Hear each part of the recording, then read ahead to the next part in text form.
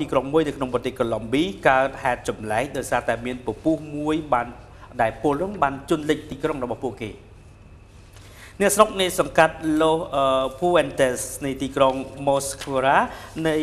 ជាយក្រុង Cúcuta របស់ប្រទេសកូឡុំប៊ីកំពុង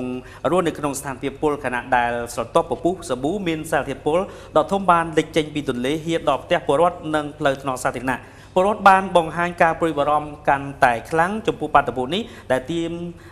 ដែលទោះបីថាមិនមែនជារឿងថ្មីក៏ដោយហើយវាក៏កើតឡើងរដូវវស្សានៅក្នុងប្រទេសនេះក្នុងនោះអាជ្ញាធរបរិស្ថានបាននិយាយថាបរិមាណសារធាតុសាប៊ូដែលត្រូវបានបង្ហូរចូលក្នុងទន្លេក្រោយមានភ្លៀងធ្លាក់ថ្មីថ្មីនោះទៀតត្រូវបានគេរកឃើញថាជាដើមចោមបង្កើតពពុះនេះឡើងយ៉ាងច្រើនដូច្នេះអ្នកស្រុកត្រូវបានណែនាំឲ្យឆ្ងាយនៅឆ្ងាយពីពពុះនោះដើម្បីជៀសវាងហានិភ័យនៃជំងឺផ្លូវដង្ហើមនេះបើយោងតាមការផ្សាយដោយសារព័ត៌មាន A24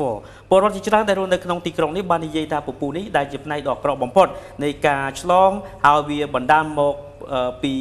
ពេលដែលអភិបាលក្រុង Alvaro Rozo បានធ្វើបំពង់បង្ហូរប្រេងនិងបានបង្ហូរទឹកកខ្វក់មកទន្លេនៅជិតនេះពួកគេក៏បាននិយាយផងដែរអ្វីដែលពួកគេមានការសោកស្ដាយបំផុតនោះគឺមនុស្សចាស់និងក្មេងៗធ្លាក់ខ្លួនឈឺមានក្មេងពិការជាច្រើនដោយសាររឿងពពុះសាប៊ូហោះចេញពីទឹកចូល